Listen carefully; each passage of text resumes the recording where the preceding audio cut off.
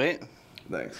So, to my right is Josh Cook. I'm Scott Ranf, and you're joining us for Wake Up Missoula. Hey guys, how you doing? And how are you doing? I'm doing tired. You doing tired? Yeah, I'm pretty tired still. Yeah.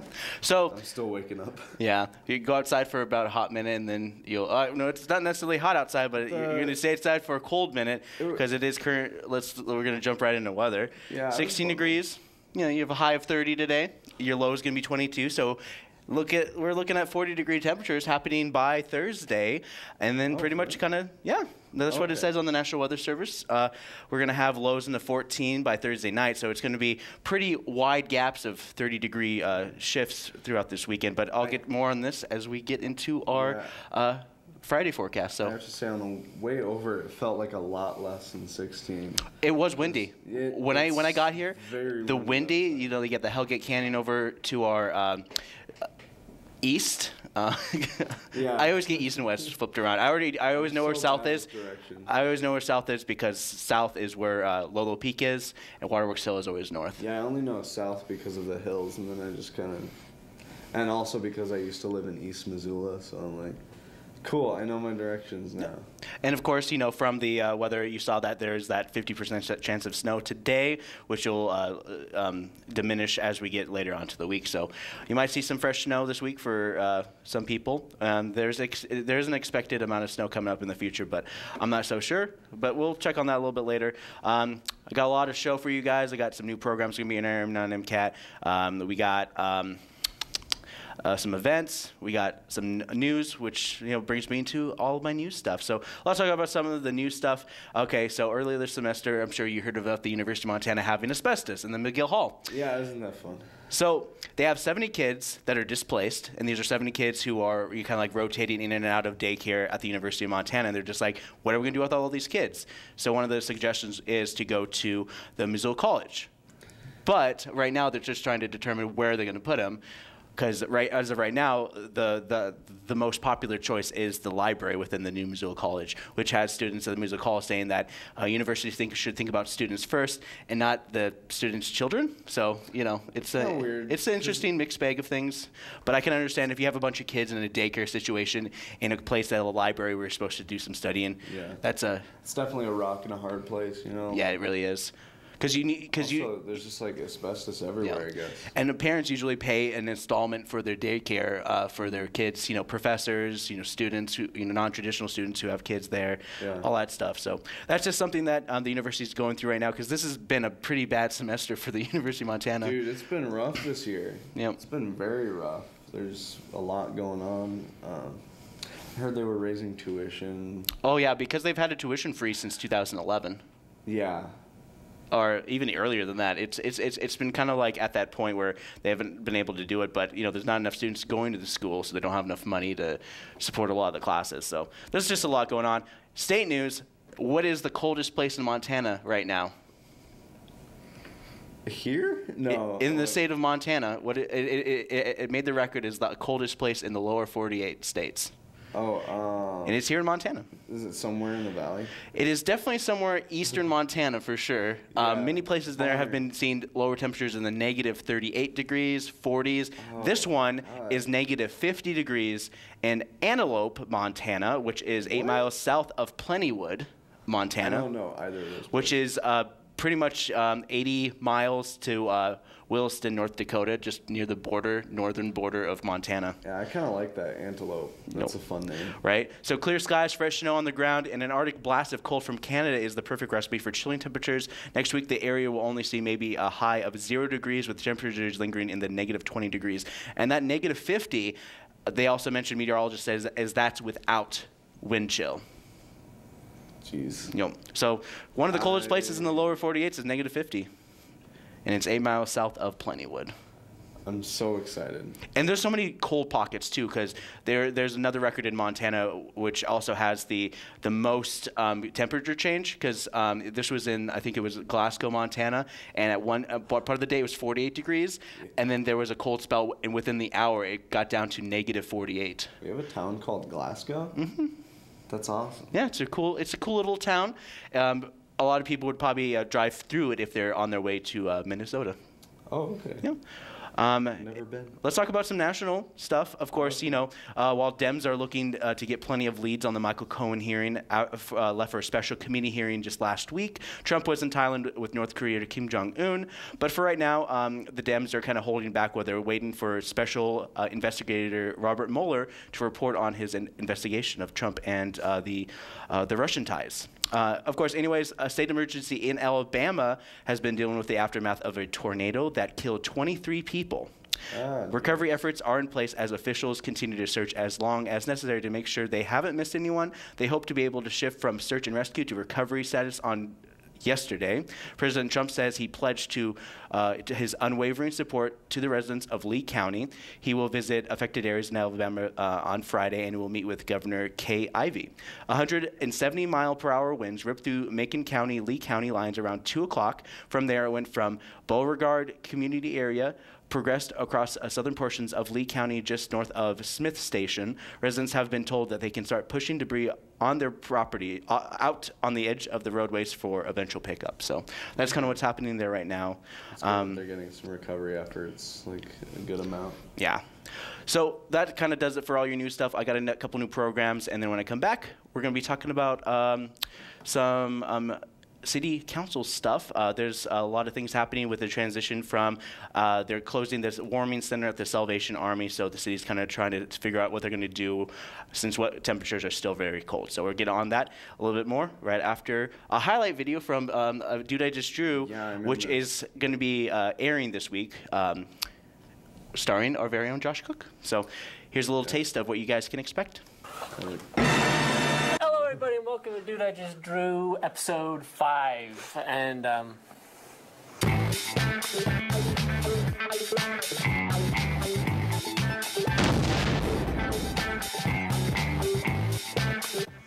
I'm. I'm here. I'm here. Drop my coin. This uh, I have my drink of choice. Yeah, present yourself. Uh, my name is Joshua Dean Cook the first. And it's what- me what again, that? Nolan, your your host. My name is Joshathan Deaneth Cook the firstathan. Okay. Uh, um, I've been what? A dragon on a sailboat trying to find the Loch Ness monster. How long are you going to let others determine the future for your children? Are we not warriors? When our ancestors went into battle, they did not know what the consequences were going to be. All they knew is that if they did nothing, things would not go well for their children. Do not operate out of a place of fear. Operate out of a place of hope.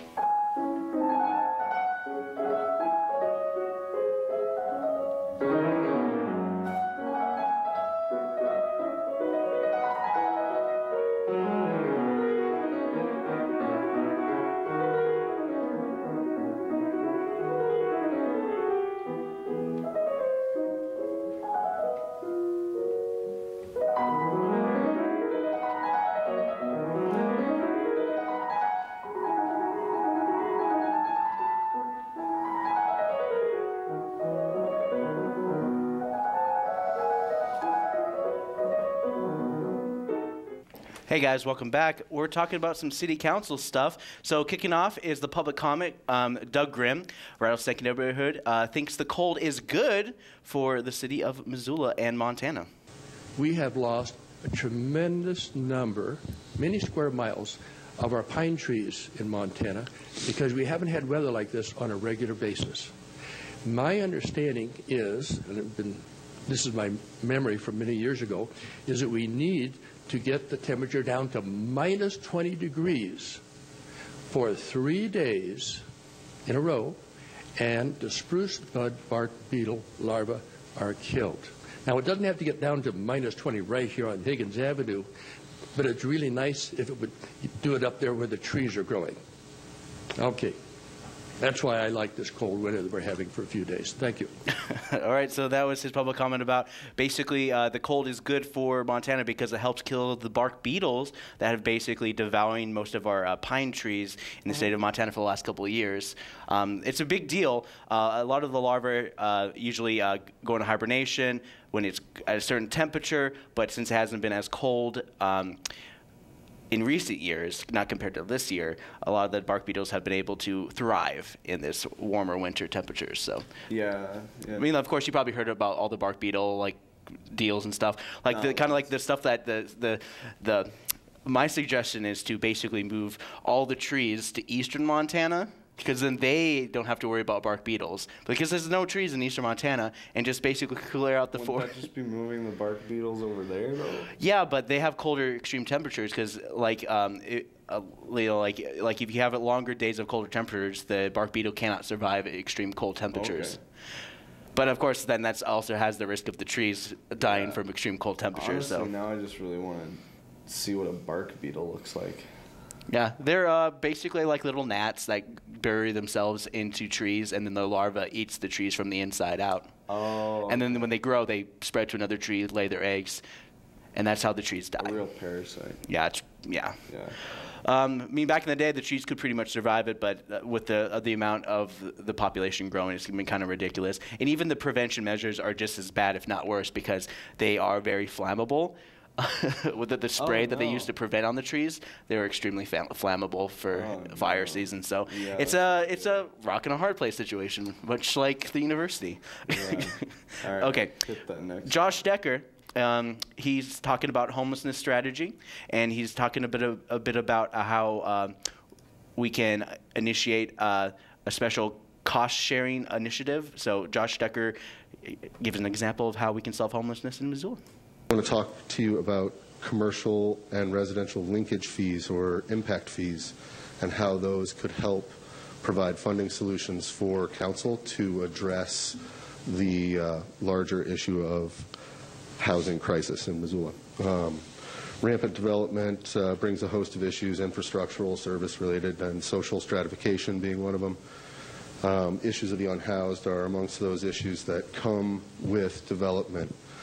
And by applying linkage fees based on square footage, um, communities such as Seattle, Boston, Denver, uh, Bay Area have acquired funding sources and uh, trade-off incentives for uh, low-income housing in their communities. All right. So basically, um, um, I looked this up a little bit, um, and I found out more information about. Uh, it's called a commercial linkage pro- program, and Boston has one of the oldest commercial linkage programs in the county.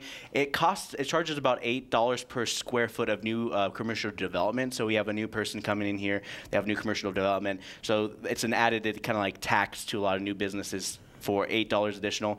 Of course, while recent data is not available, between 1986 and 2000, Boston's linkage fees generated $45 million in revenue, which funded nearly 5,000 affordable units to help fight homelessness in the Boston area.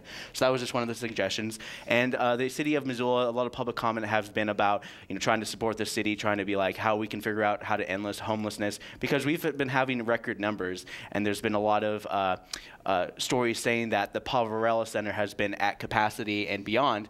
But unfortunately, not unfortunately, but I actually have a quote from um, um, A- Amy Allison from the Poverello Center clears air about not being able to provide space for people. So this is her response to a lot of people saying that Poverello is bursting at the seams. Um, as you all know, we at the Poverello Center have been providing warming space during the day um, and have been for the past couple of weeks. Um, that has been going well during the day. We've been busy, um, busier than normal, but um, I see that as a good thing because I'm happy to be providing life saving space, especially when it is so cold out. Um, I know a lot of the news articles recently have been stating that um, we are, you know, over capacity every night and turning people away, and that's actually not been the case, but um, that has not been no one has called to ask me that, so um, that has not been confirmed. But I wanted to let you guys know that the Salvation Army has been extremely busy providing their overflow space. Um, I've been tracking and working closely with the Salvation Army and asking them what their numbers are looking like and comparing them with ours. Um, and what I've seen on the busiest night so far um, was uh, 245 people needing emergency shelter, and as you know, the Poverello Center is able to provide 175. So um, I think um, the Salvation Army, the highest I've heard, they've slept around 70. Um, and so that's just something to keep in mind is that 245 number. I think as we continue through the next couple of weeks, I'll keep in contact with the Salvation Army to um, understand what numbers are looking like, and that I think will help us to have a better sense going into next winter. Unfortunately, in this position, I'm already thinking about next winter and what we're going to be doing, uh, but I look forward to having a community conversation this spring to really have a good plan going into next year um, and making sure we have a good plan in place. Um, I do want to thank the folks. All right, so that was Amy Allison, and I just wanted to mention that the Salvation Army was able to raise $50,000 to promote their um, warming center, and basically the warming center ran, um, well, the money wise, the the uh, the the, the, set, the warming center was supposed to last from um, basically early December till March. And it is March now. And I, I haven't heard anything about them closing or anything like that. Uh, so far, they're still doing a lot of their services for people in need. I know that Mountain Line uh, recently didn't open their doors because Mountain Line did use, utilize their uh, space as a kind of like a temporary warming place for people while they're in transportation to Salvation Army and beyond. Okay, so uh, Gwen Jones, uh, she reflects on the frustration about funding um, programs that help in homelessness. So this is what Gwen Jones has to say in response to a lot of the public comments. Just wanted to clarify that sometimes these things aren't nearly as simple as they sound at first blush. Um, there was some references made to using um, MRA money, which there is a public art project being put into the MRL park. Um, that is all MRA money, which is highly regulated by state law and has to be spent within that district. That is not a bucket of money that we can take from and just put in a different area. So I just wanted to clarify that. Also, there was discussion regarding the fact that Bella Vista Field at Fort Missoula Regional Park um, needs some supplemental um, fill put on it to get it up to par, and um, that those district, I'm sorry, those funds come from the Park District funds, which are dedicated to the operations of Fort Missoula Regional Park.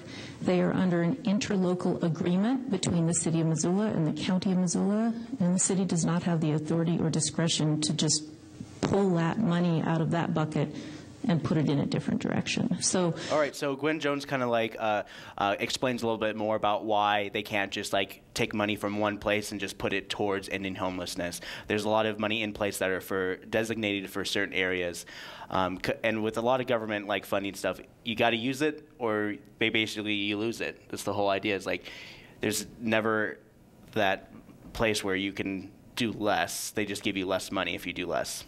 Anyways, so many issues comes uh, for allocating funds for the city. City didn't put any money towards the Salvation Army back when they requested the Salvation Army be approved for emergency warming center back in October. Uh, the city also mentioned that it would, since they already raised X amount of money, they would be perfectly fine with raising the, rest of the money for the warming center at that time.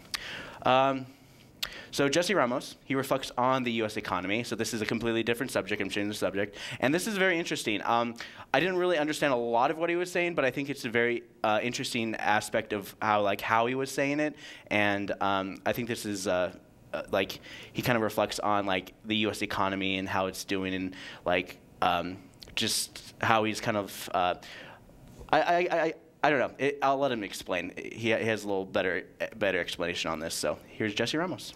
A little over a week ago, um, Federal Reserve Chairman Jerome Powell made his obligatory visit uh, to Congress for the year, and it consisted of the typical uh, posturing that you would expect on partisan lines, where the Republicans talking about how great the economy was, the Democrats talking about how bad it was.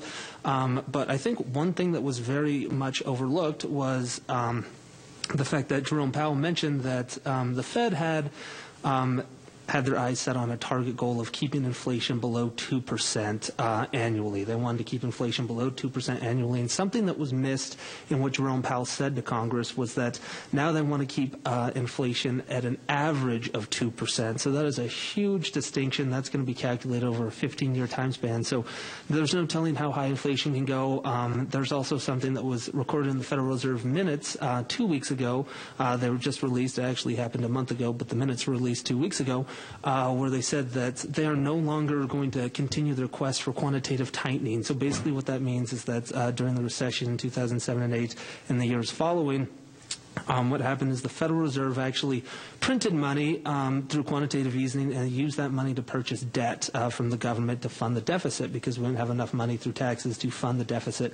So basically, what happened is the Federal Reserve printed the money uh, through quantitative easing and purchased their own debt. So they printed money here and then purchased debt um, from the government. And they assured us at the time that it was not monetary or it was not quantitative. Uh, sorry, it was not debt monetization because.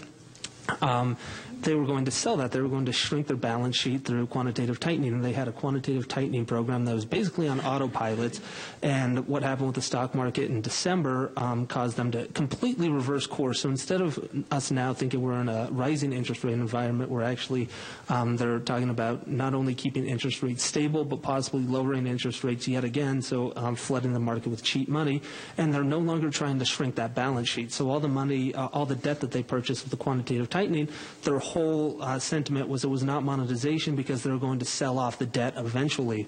All right, so that was uh, basically uh, kind of what's going on. What Jesse Ramos noticed is that um, he believes that uh, the, you know, like as you know, like the U.S. economy, the do- of course, the value of the dollar is definitely going down. The way he's Oh, describing it, really. and not to mention, um, you know, because we're pr- trying to pay off like deficits, so we're printing money that really doesn't exist to help pay off and offset some of those things. Not to mention, of course, the economy took quite a hit back when uh, the government didn't open back in December. And it's only open on a temporary basis. At, there's, they're trying to get a lot of the other programs kind of running and all that stuff. So there's just a lot kind of going on with the government and the economy as well as taking quite a hit. But of course, you know, Montana really never notices a lot of that for the for the most part because we're already in poverty. The state of Montana is actually kind of like listed is, is one of the most impoverished states in the, the in the lower 48 states. Yeah, but that's why we don't really notice it until a certain degree. You know, like cost of living, lower wages is kind of like common here in Missoula. So Yeah. And then, of course, I didn't. I didn't want to leave you guys on that uh, note because it's kind of like a sour note out of, out of everything that kind of. of. It's, it's definitely a bummer, but that's kind of what's going on with City Council. And you can watch the whole meeting. There's a lot of stuff that happened during the City Council meeting. And I'm, I'm just giving you kind of like the flyover, the highlights. Um, you can always go to the City of Missoula's website for uh, your own experience on how the city runs and operates and how you get permits and how to pay your water bill online. ci.missoula.mt.us your local source for everything City of Missoula. But your everything local source of everything MCAT and Missoula Television Station is MCAT.org. Um, once again, um, I just want to remind people that MCAT will be moving into the new library. Um, the groundbreaking ceremony uh, already happened. You can check it out. Um, if you click on the picture from our page, it'll bring you to a live feed of the construction of the building. So that's where we're at so far. Look, they already got the um, the support beams. They they, they poured the concrete, and pretty much MCAT's going to be at the bottom corner of this one. So if you go the, kind of like I, if you look at the picture, it's like pretty much the top corner at this edge right here, and we're going to have a window where we'll be able to see the real L and the real M instead of this L and this M. Yeah. I mean, this one's pretty good, honestly. I know No. it's great. That, It's, it's a wonderful it's a wonderful Yeah. uh, backdrop for sure. It's gonna be interesting, like just moving MCAT to a different location. Like it's not very far away, but It's still like another. It's like it's a whole other world. so it's gonna be in the library. yeah. Like, part of the library. We'll be in the library under one roof. That's what that, I mean. They wanted to like, kind of like have a new name for the library. They didn't want to call it like the library. It's like Missoula Community Space or something. Something like Oh, it's because it's they want it to be like a like a community center. Okay. Because it's not just a library, because it has MCAT and it has you know Spectrum Discovery Center. Families First is going to be there as well. Okay, so it's kind of like this building, but less business, more community. Yeah, it's a very much community. We'll, we will be pretty much be sharing a building with very like-minded folks as ourselves, which is very nice. Yeah, Not like you know our next door neighbors. You know, their first call. They're uh, they're an IT them. group. I don't know them. Yeah, they're just an IT group next door. They're like a conglomerate of IT people. Yeah, and, And they help people? like, there's the um, stringed instruments repair upstairs. Yep, they've been there for pretty much just as long as MCAT, if not uh, about the same real? time. He's been there for a long time. He always has that uh, painted um, um, the car that's in the lot. It's pr- it's a pretty Oh, cool car. Yeah. I'm sure you've probably seen it around town driving around. Yeah, like every time I've every time he drives by me, he like recognizes me, which is weird because I don't really recognize him as much. But I guess he probably sees me coming MCAT ever so often. Okay, so that's enough reminiscing about just like this and that. I do have a very special clip I wanted to show you guys. I didn't get a chance to show uh, it for the. Uh, the fifth year anniversary show. Um, uh, this is basically a, a conglomerate, a collage of all the art that has uh, basically been shown on um, my morning show. Um, a lot of this art is usually very time sensitive, so you don't get a really good chance to really see the art. But I'm going to show you this ultimate art clip, but then when I come back, I'm going to give you an art guide to the downtown Missoula area since I didn't do your first Friday art guide last Friday. And without further ado, here is the, uh, the Ultimate Art Collection, uh, edited by our very own Rick Phillips.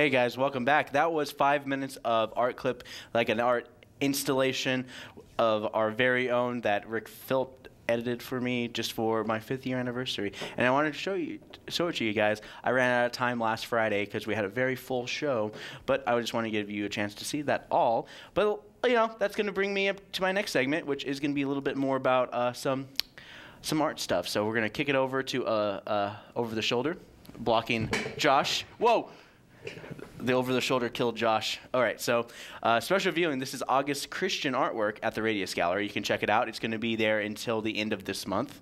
Um, but yeah, here's some of the installations. Um, it's a, very limited viewing of the artist collage and sculpture work. Up next, we got the uh, Colorado River by uh, Annie Eastwood. I don't know if she's related to Clint, but original oils and acrylic uh, blizzled uh, uh, glacial prints of Grand Canyon National Park. And that's going to be at the artist shop. Uh, Balance is going to be at the Four Ravens Gallery, so that's going to be on pretty much the month of March. You guys can check out Balance. This is art, sculptures, and um, principle of balance, making decisions that will create harmony out of um, experience. Up next, we got this is from uh, the Gallery 709 inside the Art, Montana Art and Framing, uh, Painted Birds and Painted Eggs. And this obviously is the painted bird. Uh, Gallery 709 inside Montana Art and Framing presents Painted Birds and Painted Eggs. Sally Hickman paints birds spotted in her yard over 30 years and some Vincent van Gogh inspired landscapes along with decorated eggs featuring traditional Ukrainian um, by local artist Kathy Howlett. Um, Judy Donovan, Bob Howlett, Barbara Morrison, Elizabeth service open first Friday, um, and then it's going to be running until about March 30th. Okay, two more art clips for you guys. Uh, this is noteworthy uh, paper and press. This is called The Cranium. Uh, the Cranium is form of 2015 form a group of volunteers that participate in the Jeannette Rankin Peace Center's project to fold as many peace cranes as they can to commemorate the 70th anniversary of the bombing of Hiroshima and Nagasaki. So, and they usually put this out in um, the Missoula Art Museum, and it's a very beautiful installation. But you can check this out at Noteworthy Paper and Press um, as it's being done. Um, the last one is deterioration. Uh, like you know, I'm gonna end the segment on a very just like uh, um, gloom note for sure, because as you can see, the it's the art is about deterioration, and this is gonna be at the Frontier Space. Sarah Sipling's opening of Deteriorate features traditional and digital printmaking with uh, photography, drawing, and painting to discuss aging and mental deterioration associated with Alzheimer's disease de and dementia, as well as memory and remembering. So that pretty much concludes all your art clips for you guys. If you uh, are you okay down there? Yeah. Do you uh, want to play a little song for us as we go into some events that are happening in Missoula? Because Oh, sure, yeah. that's the only thing I got to do until I end the show is your events. Okay. Uh, you want me just to throw it to you? Yeah, sure. All right. Why not? Yeah. Whew, Got it. All Take right. the wheel, Jesus. Uh, I'll just uh, you know play some ambient stuff. Um, let me switch. Okay.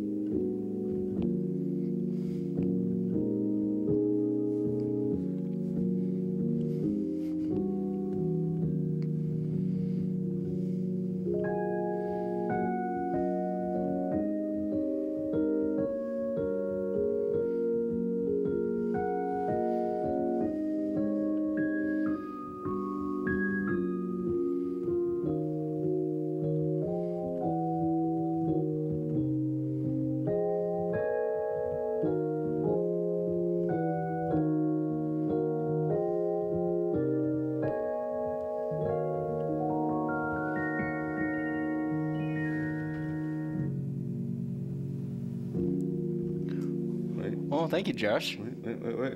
Wait, throw back. Throw back. Okay. Okay, cool, sweet. And uh, I, that honestly that made me think about Mr. Rogers' Neighborhood, Oh, sick. right? Yeah. Right. It's just like, well, well, thank you there, there Josh. I really appreciate. It's like it, when you bring that kind of joy to other people, Yeah. it really just makes uh, the world just a better place. Yeah, yeah. All right, so let's talk about some events starting for your Wednesday. Hey, you like your pets? You want to paint your pets? ZACC is doing a paint your pets to way to honor your pets, starting at 9:30. So basically, right now. Um, but they do a bunch of classes and a bunch of cool themed th- stuff, as along with uh, their girls rock camp, which will be performing at the uh, Family Friendly Friday at the Top Hat sometime in March 16th. It's one of those Fridays. It's like it's like middle of March Friday. Anyways, but they they right now they're doing they they love their pets. And what better to honor them with a beautiful painting? And there's three hour workshop that's starting at right now, and it goes until about noon. It's about $60 for people or $55 for members. You can immortalize um, your pets. Um, the ZACC also is pet friendly location, so you can bring your animal to paint them alive. Um, Empower Place in Tiny Tales. So um, if you're if you want your kid to get engaged with reading while at the same time visiting the Missoula Food Bank's Empower Place uh, area for kids, this is a great way for kids to get engaged with reading from birth to th- uh, three years of age. Lifelong Learning Center. They have a whole bunch of art classes happening to uh, have uh, all sorts of classes happening today. Um, health and wellness. They have over 50 and fit starting at 10 a.m. You have Bear Fitness at 10 a.m. 5:30 they're doing um, continuing Pilates, cycling intervals, uh, Booty yoga, um, Pound Fit. And ULA, all this stuff happening with lifelong learners and just all sorts of interesting things. Because I always notice that they do a lot of stuff, and also their learning center at Red Willow is doing an the art of wellness and vitality, which is a yoga class, and it happens uh, basically 12 to 1. Um, Scrabble and Bridge. Missoula Senior Center, the best dance floor in Missoula, um, is at the Missoula Senior Center, and at 12:30 ish, they have a Scrabble and Bridge thing because one starts at 12:30 and the other one starts at like 12:45. So I just say 12:30 ish, just to kind of get a scope. So you get a lunch, and also you get a, a destroy people at Scrabble and or Bridge. That, uh, does that say makey makey up there? Yes, and that's the spec- special activity in Spectrum Discovery Center. Makey Makey is uh, is open for uh, visitors of all ages to explore science, to engage in exhibits. Uh, it's uh, 812 Toole Avenue, just across from DraftWorks. 350 for anyone four and over, and if you're under three, you get in free. And the Makerspace is their extra special and hands-on activity from 3 to 5:30 p.m.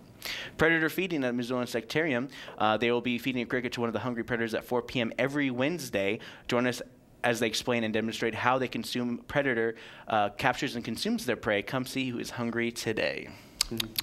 I know they, they, they have a really good play on words for sure. Yeah. Um, It's a tongue twist. right. Lights, camera, action. Screenwriting 101. Hey, uh, the Dickinson Lifelong Learning Center is doing a Screenwriters 101 um, thing starting at 6 p.m. You can enjoy, everyone has a short story, including you. Join the introductory level writing course and complete a short screenplay. So, you know, you just get some, you know, anything that helps with your screenwriting. Uh, global public health, how Special Olympics is fostering international systems change. Tonight there is going to be a lecture starting at 6:30 p.m. It's Dr. Donna uh, Bainbridge, uh, PT, ED, AT, RET, all sorts of acronyms and all that stuff, has worked internationally with Special Olympics since 2001 as a global uh, clinical advisor for fun fitness and fitness programming. In this role, she coordinating um, global development of fitness assessments and programming, um, training physical therapists how the fun fitness screening in their countries. She also coordinates the uh, uh, the World Confederation of Physical Therapy Network for the Intellectual and develop, um, Developmentally Disability and is on the steering committee for the Health Promotion in Life and Work Network. So a lot of this is happening. Global Public- Health, they do this in the Gallagher Business Building, room 123, and they usually do this uh, most Wednesdays at 6.30 p.m. And if you missed it, MCAT will be broadcasting it on our channel starting in April, I believe, if not already. Um, 3D printing class, Missoula uh, Public Library, they have a 3D print- printing class pretty much every once a month, and it just teaches you guys about 3D printing. And I think it's really cool because they have a cool iPad where you can scan yourself and you can make a 3D action figure of yourself. It's really cool. Oh, nice. Yep, I went there uh, just recently, and they were kind of showing that and whatnot. There's gonna be a band tonight at the Wilma. It's called Young the Giant. Oh yeah, they're popular. Yeah, tell me about it. Do you know? What do you know about them? Because this is the first time I've ever heard of them.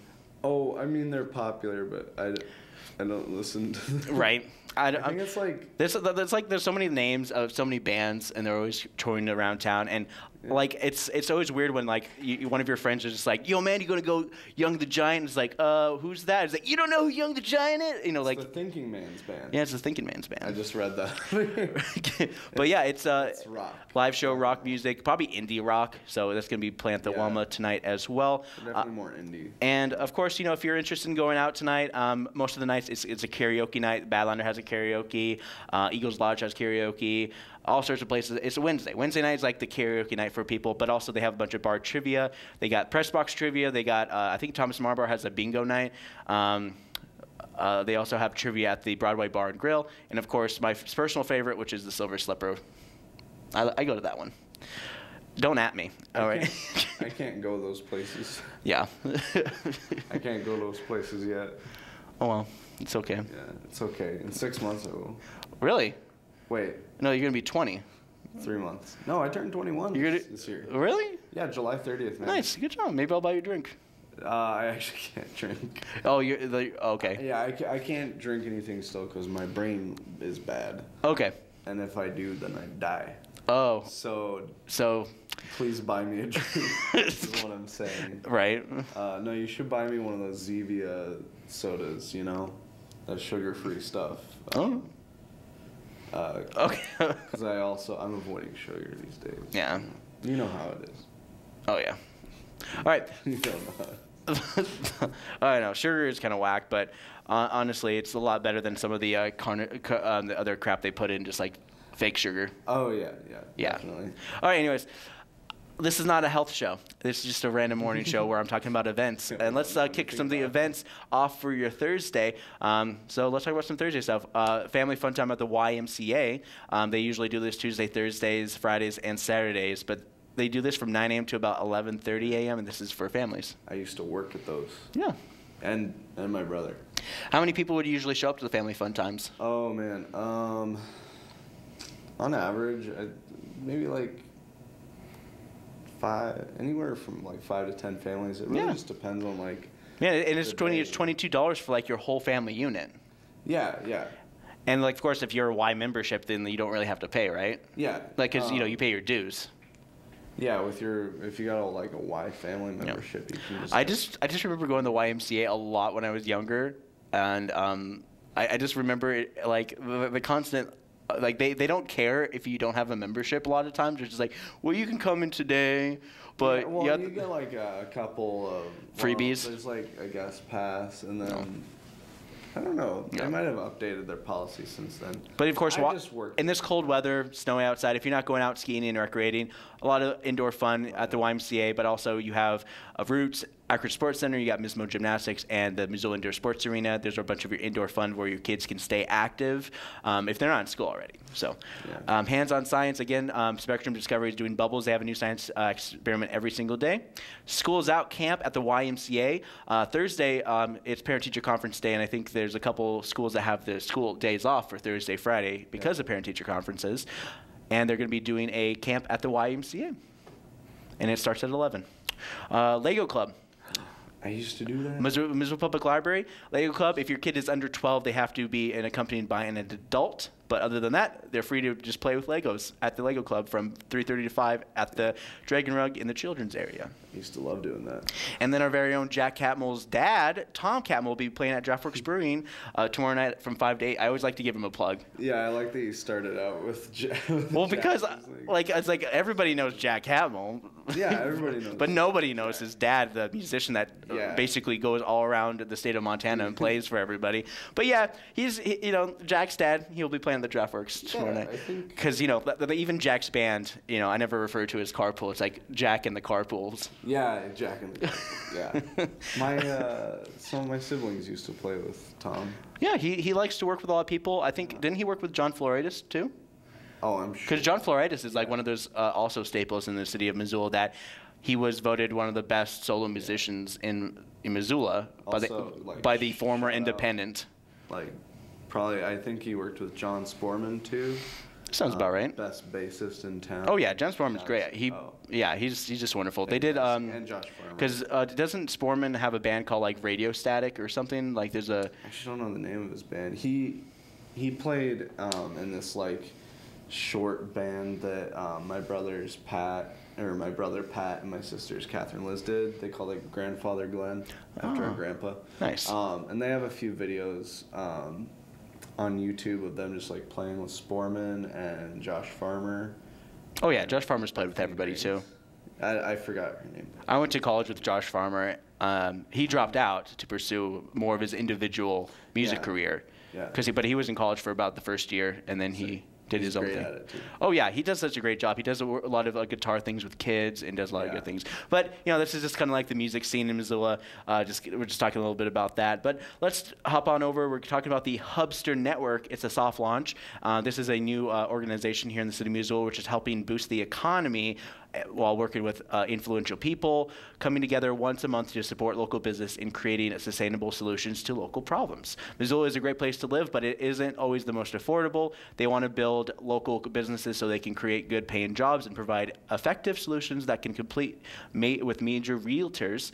Uh, re- retailers, sorry, um, not the house sales, because Yeah, you know no. realtors are pretty common for sure. But it's time to put Missoula's local economy into higher gear, according to the Hubster Network, which will be uh, doing a soft launch tomorrow night at 5:30 at the Sunburst Community Center, which is 1511 South Reser- Russell Street.